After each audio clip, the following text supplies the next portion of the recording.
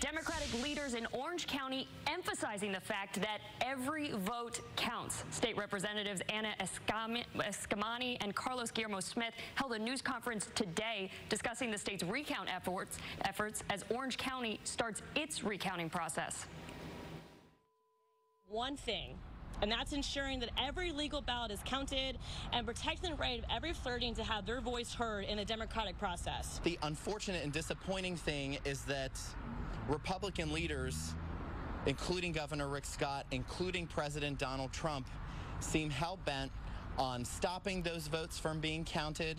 They are are obsessed with interfering with these recounts as they are going on across the state. And Orange County is recounting 479,000 ballots in the races for Senate, Governor, and Agriculture Commissioner.